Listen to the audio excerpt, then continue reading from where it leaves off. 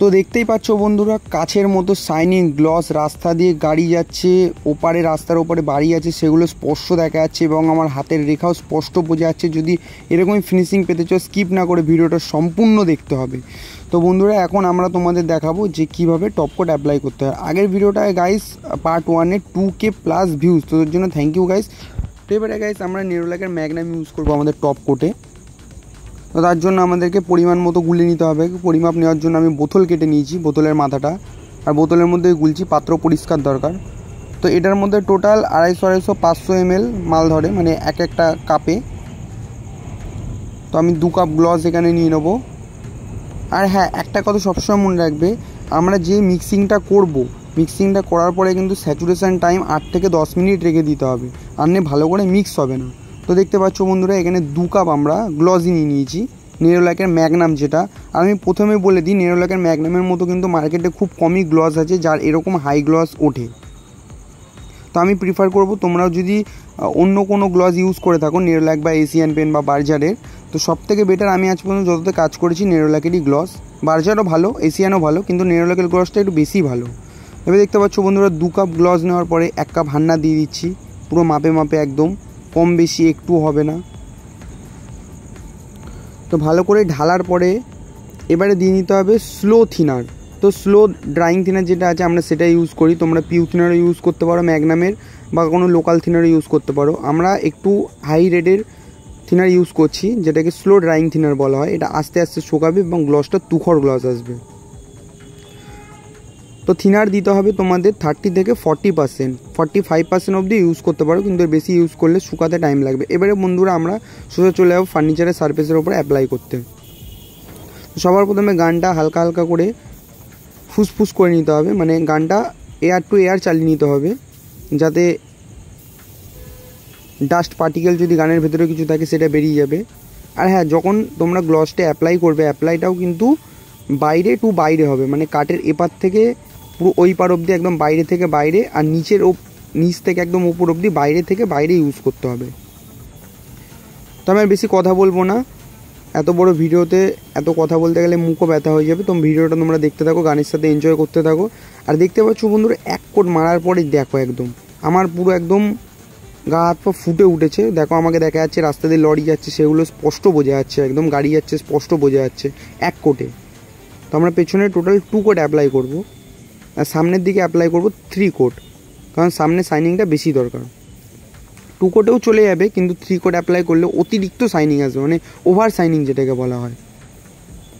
দেখতে পাচ্ছ এক কোট ইউজ করার পরে কত সুন্দর গ্লস চলে এসছে।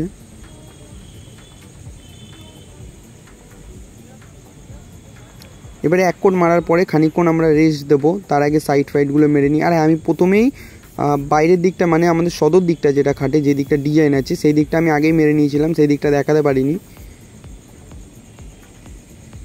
তো ওই দিকটা আমি ফিনিশিংয়ে দেখিয়ে দেবো, একবারে ডাইরেক্ট ফিনিশিং যেটা। তো সাইড মারার পরে ওপরটাও ভালো করে মেরে নিতে হবে। ওপর আর সাইডগুলো তোমরা দু কোট কি তিন কোট মারবে, এর বেশি মারতে যাবে না। দু কোটেই দেখতে পাচ্ছ, এক কোট মারার পরে কত সুন্দর শাইনিং চলে এসেছে দু কোট পড়লে তো একদম কাজ হয়ে যাবে। আর গাইস কাঠের ফাইবারটা দেখো, এবার ফাইবার বা ভেন্সটা দেখতে পাচ্ছ, কত সুন্দর ভেন্স একদম কাটে এ ক্লাস কাঠ আছে। যদি কেউ এরকমই ফার্নিচার নিতে চাও কমেন্ট করতে পারো। আর হ্যাঁ যদি এরকম কোনো মিস্ত্রি দাদা থেকে থাকো বা ভাই থেকে থাকো, যে পিউ নতুন করে চালু করবে, শুরু করবে বা কোনো দিনও করনি, কিছু জানতে চাও, পিউ সংক্রান্ত যে কোনো তথ্য, তো তারা আমাকে কমেন্ট করতে পারো। আমি কমেন্টে যতটা পারব রিপ্লাই দেবো বা আমার নাম্বার দিয়ে দেবো হোয়াটসঅ্যাপ তারা আমাকে কল করে জেনে নেবেন। যে কোনো কিছু। তো আমি সবসময় তোমাদের সেবা করার জন্য প্রস্তুত আছি। আর হ্যাঁ আমি প্রথমে বলে রাখি, অনেকেই অসৎ মিস্ত্রি যারা আছে বা অসৎ ব্যবসাদার যারা আছে, তারা কি করে? গালা দিয়ে বিস্কুটটা রেডি করে নেয়। তো গালা দিয়ে বিস্কুটটা রেডি করার পরে ইন ফিউচার মানে ছ মাস, এক বছর কি দু বছর পরে পিউ পালিশটা ফেটে যায় মাকসার মতো জাল জাল জাল জাল হয়ে যায়। তো এর জন্য অনেকে পিউ করাতে ভয় পায়। আর আমাদের যে বেসকোটটা রেডি হয়, আমাদের বেসকোট সম্পূর্ণ সিলার দিয়ে হয়, এতে কোনো কালার ইউজই হয় না। আমরা যে রং ম্যাচিংটা করি, সেটাও হয় স্টেন দিয়ে করি, নয় আমরা সিলার দিয়ে কালার ম্যাচিং করি। তো যদি সম্পূর্ণ সঠিক তথ্য জানতে চাও একদম, তো ভিডিওগুলো দেখে নিও ফার্স্ট পার্টটা বেস কোট কীভাবে রেডি করেছি আমি, তারপরে টপ কোটটা দেখো। কিন্তু আগে যদি দেখছ টপ কোট মারাটা কীভাবে মারতে হয়, তো আগে এটা দেখে নিও, তারপরে গিয়ে পার্ট ওয়ানটা দেখে নিও, তাহলে পুরো সম্পূর্ণ ক্লিয়ার হয়ে যাবে। তো ফার্স্ট কোট পাঁচ থেকে সাত মিনিট ড্রাইং হওয়ার পরে এখন দেখতে পাচ্ছ আমি সেকেন্ড কোট অ্যাপ্লাই করছি। আর সেকেন্ড কোট অ্যাপ্লাই করার পরেই গাইজ দেখো, রাস্তার উল্টো দিকে যে বাড়িগুলো আছে সেগুলো পুরো স্পষ্ট দেখা যাচ্ছে। আর টু কোট অ্যাপ্লাই করার পরে গ্লসটা কাঠের শুধু ভেঞ্চটা দেখো, কাঠের ফাইবারটা দেখো, কত সুন্দর ফুটে উঠেছে। মানে দেখে মনে হচ্ছে না যে কোনোভাবে এটা উড়িষ্যা সিরিজ দেখে মনে হচ্ছে সেগুনের খাট। আর আমাকে দেখতে পাচ্ছ, ও মানে খাটের ভেতর থেকে কত সুন্দর ক্লিয়ার বা স্পষ্ট বোঝা যাচ্ছে। আর রাস্তা দিয়ে গাড়ি, টোটো, বাইক সেগুলো দেখতেই তো পাচ্ছ পুরো ক্লিয়ারনেসভাবে আর ভিডিওটা যদি ভালোভাবে দেখতে চাও, তাহলে একটু হাই কোয়ালিটিতে দেখো, তাহলে ভালো বুঝতে পারবে গ্লসটা আর এখানে দেখতেই পাচ্ছ, সামনের দিকটাতে আমার হাত, রাস্তার ওপারে বাড়িগুলো, গাড়ি, কত সুন্দর ক্লিয়ার বোঝা যাচ্ছে একদম স্পষ্ট পুরো। পুরো কাজ হয়ে গেছে। তো বড় গাড়িটা মারা হয়ে গেছে, এবার আমি ছোটো গাড়িটাতে অ্যাপ্লাই করব গ্লস সেম প্রসেসিংয়ে এখন মাথাটা মেরে নিচ্ছি গাইস মাথাটা মারার পরে সামনে অ্যাপ্লাই করব থ্রি কোট আর হ্যাঁ গ্লস মারার সময় সবসময় মাথায় রাখবে গ্লসটা একটু ধরে মারার সময় নিয়ে মারার। যেখানে এক ঘণ্টা লাগবে, সেখানে তিন ঘণ্টা ধরে মারবে গাইস কারণ গ্লসটা যদি একবার ঝুলে যায়, তাহলে কিন্তু আবার স্যান্ডিং করে আবার গ্লস মারতে হবে। আর গ্লস কাটতে খুব অসুবিধা হয়। গ্লস কাটতে চায় না। সিলার যেমন রানিং কেটে যায় গ্লসটা তেমন হার্ড মেটেরিয়াল হয়। গ্লসটা অতটাও হার্ড না মানে স্যান্ডিং করা যাবে, কিন্তু অনেকটাই হার্ড হয়। স্যান্ডিং করতে অনেকটা অসুবিধা হবে। তো এত ঝামেলা না করে তোমার গ্লজও নষ্ট হবে, সময় নষ্ট হবে মিস্ত্রির মজুরিও যাবে। তার থেকে বরং তুমি দু ঘণ্টা পারলে, তিন ঘণ্টা পারলে, হাফ বেলা পারলে, সারাদিন ধরে একটা খাটে গ্লস চাপাও বা একটা ফার্নিচারে চাপাও, আর না কিন্তু তোমার ডবলে ডবল খরচা বেরিয়ে যাবে। তাই হুটোপাটি করবে না কাজে, একদম রিল্যাক্সে কাজ করবে। তো এটা তো ফার্স্ট কোট মারার পরে দেখতে পাচ্ছ কত সুন্দর সাইনিং চলে এসছে ফার্স্ট কোটেই আর সেটিংটা একদম সিম্পলের মধ্যে করা হয়েছে। মাঝখানের যেই ডিজাইনটা আছে পটলটা, সেইটা শুধু ব্রাউন সেট করা আছে, মাঝখানের বিটটা আউটলাইন আর একদম আউটের যেই রাউন্ড বিটটা আছে, সেটাকে সেটিং করা হয়েছে ব্রাউন সেট এবার দেখতে পাচ্ছ সেকেন্ড কোট চাপাচ্ছে সেকেন্ড কোট চাপানোর পরে দেখো আমার হাত বা আমার পা, অথচ গান সব কিছু একদম ক্লিয়ার হয়ে গেছে আর রাস্তার থেকে গাড়িগুলো যাচ্ছে, সেগুলো তো স্পষ্ট বোঝা যাচ্ছে পুরো। আর হ্যাঁ গাইজ ভিডিওটা এই অবধি যারা যারা দেখছ পিউ পালিশ সংক্রান্ত আরও যদি তথ্য পেতে চাও আরও যদি ভিডিও পেতে চাও চ্যানেলটা সাবস্ক্রাইব করে পাশে থেকো। এরকম ভিডিও আরও নিয়ে আসার আমি চেষ্টা করব। এবারে গাইজ খাট মারা হয়ে গেছে দুটো গাড়িতেই। মেরে আমরা সঙ্গে সঙ্গে ঢুকিয়ে দিয়েছি, যেহেতু রাস্তার ওপরে কাজ হচ্ছে। এবারে বাকের ওপরে পাশি তুলে নিয়েছি। আর দেখতে পাচ্ছ, এটা সলিড পাশি আছে, একটাই খালি পাল্লা আছে, এটা হাইড্রোলিক খাট হবে। আর যদি কেউ ফার্নিচার নিতে চাও, এরকম এভরি ফার্নিচার যে কোনো ফার্নিচার যদি নিতে চাও কমেন্ট বক্সে আমাকে কমেন্ট করতে পারো এসে। কোনটার কত দাম আমি হোয়াটসঅ্যাপে পাঠিয়ে দেবো। বা তোমাদের যদি কোনো কিছুর রিকোয়ারমেন্ট থাকে যে, দাদা, এই জিনিসটা লাগবে, এরকম লাগবে সেম জিনিস হয়ে যাবে। বা কাউ যদি পালিশ করানো থাকে বাড়িতে, আমাকে এস এম এস করতে পারো। বাড়িতে গিয়েও পালিশ করা হয়। মানে আমি করে থাকি। বা কাউ দোকানে কাজ থাকলেও বলতে পারো কমেন্ট করে।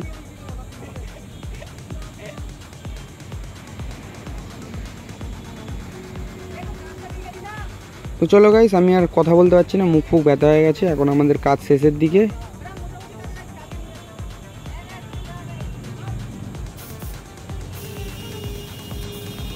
তো ভিডিওটি দেখতে থাকো পুরোটা, আর মজা নিতে থাকো, আর কাজ শিখতে থাকো। আর হ্যাঁ অনেকেই তো পিউ পলিশ করে, কিন্তু সবাই গ্যারান্টি দেয় না পিউ পলিশে তবে আমি গ্যারান্টি দেব যে পিউয়ের যে গ্লসটা আছে, এই গ্লসটা আট থেকে দশ বছর এরকমই স্টে করে যাবে মানে বসবে না। গালাপালিশে কী হয়? অনেকে যারা গালা পালিশ করে গালা পালিশ করার পরে পিউ মানে গালার যে গ্লসটা আছে, তো গ্লসটা বসে যায় একটা সময় গিয়ে ছ মাস কি এক বছরের মধ্যে গ্লসটা বসে যায়, খাটটা বা পূর্ণ পূর্ণ মনে হয়। তো দেড় বছর কি দু বছরের মাথায় আবার পালিশ করাতে হয় খাটটা, বা অনেকে করেই থাকেন, তো ওখানে অনেকটা কস্ট চলে যায়। তো এই দুটো কস্ট মিলিয়ে যদি একবার পিউ পালিশ করে থাকেন মানে আট থেকে দশ বছর কি পনেরো বছর গ্লস একই রকমের স্টে করা যাবে। আর এটা ওয়াটারপ্রুফ হয় সম্পূর্ণ। তো ধোয়া ধোয়াধুয়ির কোনো অসুবিধা নেই। শ্যাম্পু দিয়ে বছরে একবার ধুয়ে দেবেন, পুরো চকচকে হয়ে যাবে, একদম ঝা চকচকে। কাচের মতো মুখ দেখতে পারবেন। দেখতে থাকুন ভিডিওটা ভিডিওটা শেষের দিকে। আর ভিডিওটা ভালো লাগলে বা ভিডিওটা থেকে যদি কিছু শিখতে পারো, একটি লাইক করে দিও ভিডিওটিতে। এবং পারলে চ্যানেলটা সাবস্ক্রাইব করে চ্যানেলের পাশে দেখো আর যদি আর একটু সময় হয়, একটা কমেন্ট করে দিও।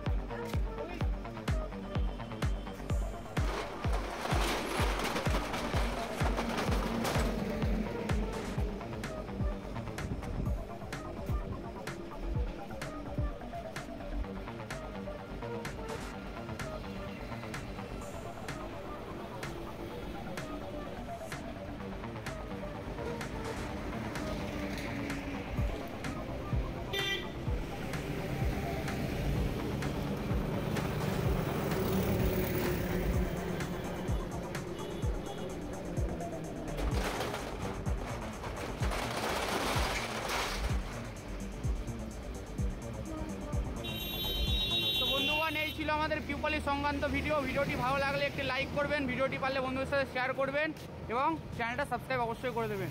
তো থ্যাংক ইউ সো মাচ ভিডিওটি পুরো দেখার জন্য ভালো থাকবেন, ভালো রাখবেন সাপোর্ট দেখানোর জন্য love you love you all love you family tata bye bye দেখা হচ্ছে নতুন একটি ভিডিওর সাথে, টাটা।